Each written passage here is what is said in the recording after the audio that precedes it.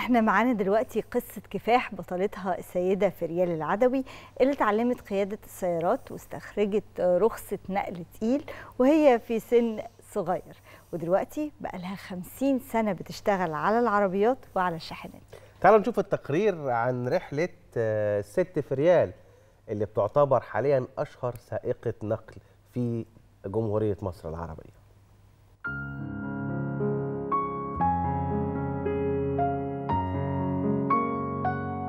رحلة من الكفاح على مدى خمسين عاماً بذلت فيها السيدة فريال العدوي أقصى ما لديها من جهد وطاقة حتى تلبي احتياجاتها من خلال عملها كسائقة نقل ثقيل مع توصيل البضائع وغيرها من خلال الشاحنات. صاحبة قصة الكفاح السيدة فريال خليل العدوي المولودة في محافظة الشرقية عام 1951 قامت خالتها بتربيتها في منطقة شبرا مصر بالقاهرة ولم تستكمل تعليمها وتزوجت مبكرا عندما كان عمرها 12 عاما انفصلت عن زوجها بعد أربع سنوات وأسفرت تلك الزيجة عن إنجاب طفل يحتاج إلى رعاية ومصاريف كما تحتاج هي كذلك لمصاريف تسد بها حاجتها وتغنيها عن السؤال. قرار حاسم اتخذته السيدة فريال العدوي من أجل الانتصار على كافة التحديات وتعلمت قيادة السيارات واستخرجت رخصة نقل ثقيل.